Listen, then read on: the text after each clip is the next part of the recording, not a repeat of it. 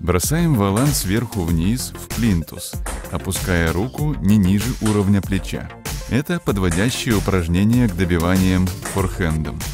Вот как это выглядит с ракеткой и в реальной игре.